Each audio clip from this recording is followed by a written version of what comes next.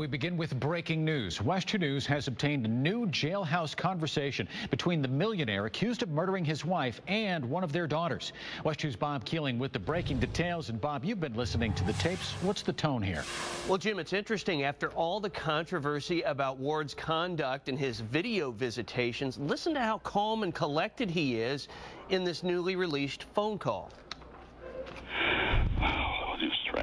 This is newly released audio of murder suspect Bob Ward's early jailhouse phone call okay. to one of his adult daughters. From calm and collected Bob Ward to dancing. No remorse.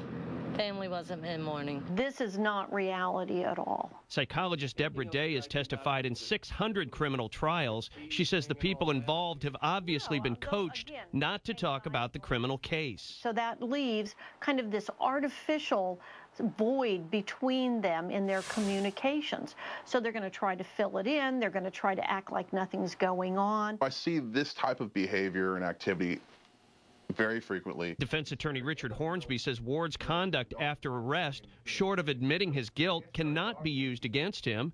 Clearly, he says all involved knew not to bring up what happened to Diane Ward. The thing that I found the most shocking of, of everything is the fact that this woman's own biological sister was there in support of him. And Hornsby says Ward may be jumping the gun by saying he expects a judge to grant him a bond this week. What is going to be a sufficient bond to ensure that he returns to court, considering that most of his family ties are in Atlanta?